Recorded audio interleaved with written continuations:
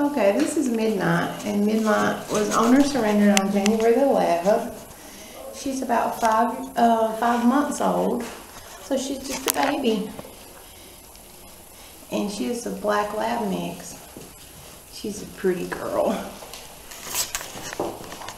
She's sweet and friendly.